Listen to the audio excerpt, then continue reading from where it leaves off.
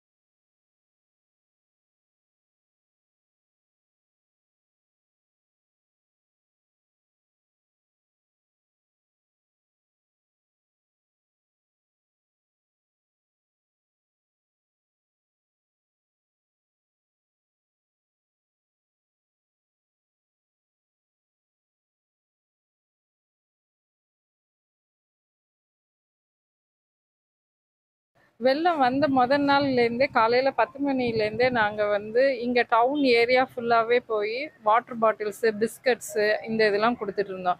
இது போக corporation trade சென்டரில் போயும் பிஸ்கட் பேக்கெட்ஸு அதுக்கப்புறம் ப்ரெட்டு அதுக்கப்புறம் வாட்டர் பாட்டில்ஸு இதெல்லாம் கொடுத்தோம். மறுநாள் வந்து சிந்துமந்துரையில் போய் எல்லாருக்குமே வந்து ஃபுட்டு ப்ரொவைட் பண்ணோம். அதுக்கு அடுத்த நாள் வந்து வேஷ்டி சேலை டிஷர்ட்டு இந்த மாதிரிலாம் கொடுத்துட்டு வந்தோம். சரி இது எல்லாமே கொடுத்தாச்சு. ப தண்ணியும் வடிஞ்சிருச்சு. நெக்ஸ்ட்டு வந்து என்னன்னு பார்த்தா இவ்வளோ தூரம் வந்து குப்பை எல்லாம் சேர்ந்ததை துப்புரவு தொழிலாளர்கள் தான் வந்து எல்லாமே க்ளீன் பண்ணாங்க. ஸோ அவங்களுக்கும் நம்ம ஏதாவது ஒரு ஹானர் பண்ணுவோம். ஏன்னா நம்ம பண்ண தப்புக்கு இன்றைக்கி அவங்க தான் வந்து எல்லாமே கஷ்டப்பட்டுட்டு இருக்காங்க.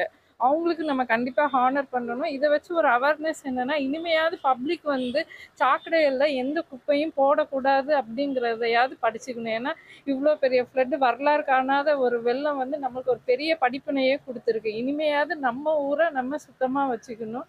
நான் இவ்வளோ தூரம் பண்ணுறேன் அப்படின்னா எனக்கு என்னோட ஸ்டாஃப் தான் வந்து அவ்வளோ தூரம் சப்போர்ட் வந்து பண்ணாங்க.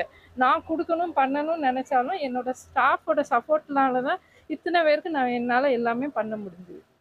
அடுத்தது கேட்க இன்னும் ரிலீஃப் ஆகவே இல்லை மக்கள். உங்களோட இந்த நலத்திட்டம் வந்து தொடர்ச்சியா இருக்குமா? தேவைக்கேற்ப நம்ம வந்து கொடுக்கலாம். ஃபண்டெல்லாம் இல்லை சார் தேவைக்கேற்ப என்னென்ன பொருட்கள் தேவையோ அது நாங்களாவே பார்த்து வந்து கொடுத்துக்கிட்டு இருக்கோம்.